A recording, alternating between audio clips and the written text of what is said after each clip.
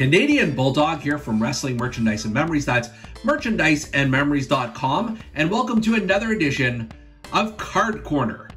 Now, what we're going to review this time around, they aren't cards in the trading card sense, but they are cards. They're photo cards. And these are WCW NWO Superstars from Panini. Uh, this is circa 1998. I recently picked these up at a collectible show uh, just outside of Toronto uh, called the Awesome Toy Show. And I picked up two packages of these, so we're going to look at 12 cards altogether.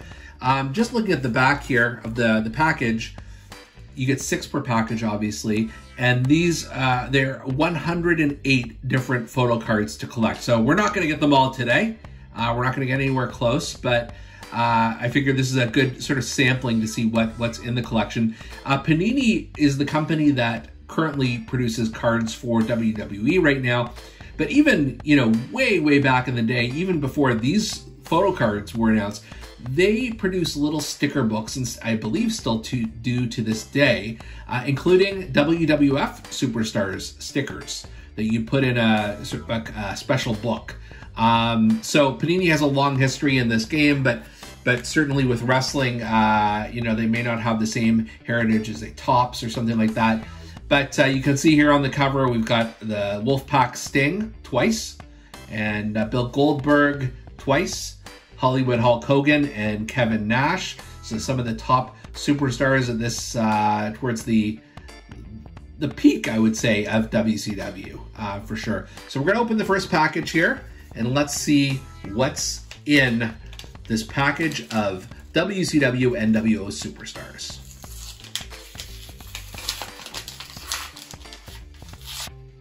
All right, so the first card, a photo card in this series is the Public Enemy, Rocco Rock and Flyboy Johnny Grunge.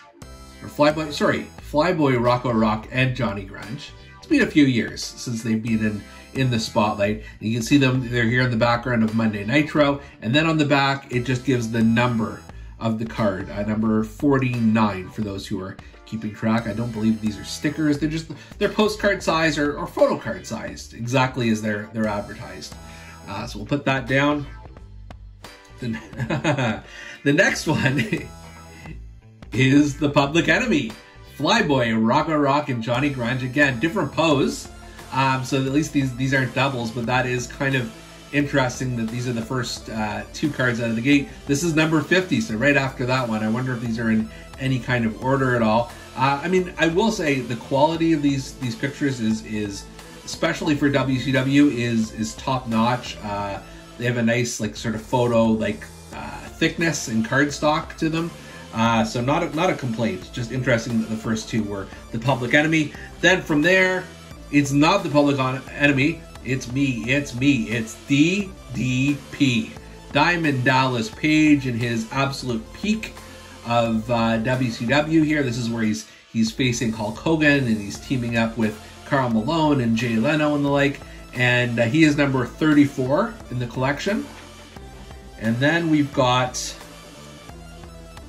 Buff Bagwell. And I'm not sure who he is is choking out there. It's hard to hard to see.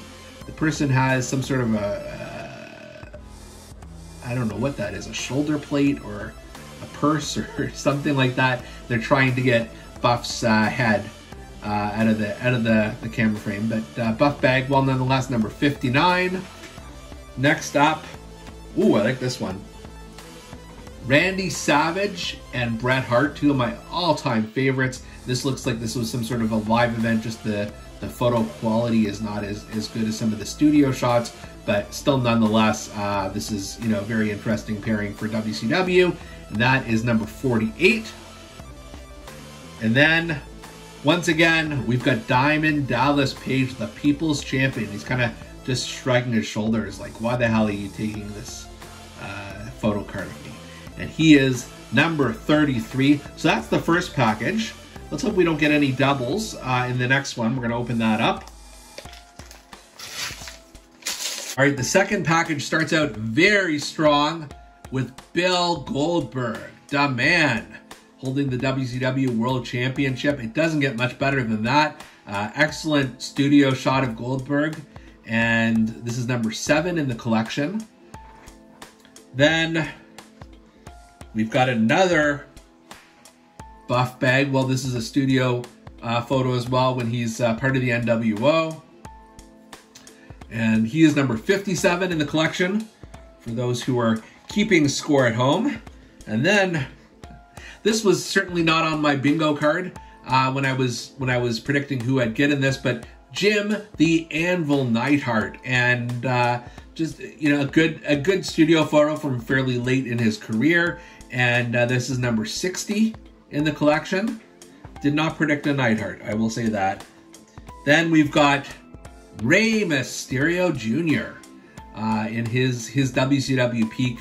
Very underrated star in terms of WCW lore, I will say.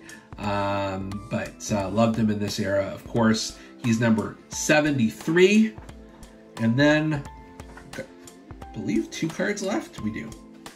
All right, the next one is another Goldberg. This is he's sort of crouching down and looking kind of pissed off at the photographer here. I don't know if that was a choice or he actually was. You, sometimes you can't tell, but good shot of his tattoo. Like again, all of these photos are, are excellent quality. This is number 10 in the series.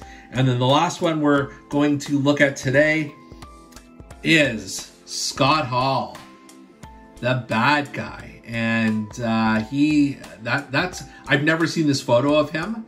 Like usually during his WCW run, he had his vest or his NWO t-shirt on. Looks like he's wearing, uh, I was gonna say a ring, but it's just like some tape around his, his uh, ring finger. Um, flexing his muscles, a good, a good picture here. And this is number 40 in our collection. Um, yeah, so overall, these, I'm just gonna try and get them in order here. Put them all together. These are bad at all. I, I, it's certainly worth the money I spent. I didn't spend a lot of money on them. The only thing is I like to collect my uh, cards in, in binders of various sizes. I guess, you know, I can still, you know, look at a, a proper photo album from years gone by, and that might sort of get me what I need. But I only have 12 of these, so I'm not sure I'm going to invest in a photo album just for these ones. Still, it's an interesting conversation piece. It's WCW era merchandise, which we collect. Uh, if you see on our website, we have a WCW Wednesdays feature. Um, so, so definitely, I'm glad I've got these in my collection. They're anomalies, and it was fun to sort of go through these. So for Card Corner, I'm Canadian Bulldog, and we'll see you next time.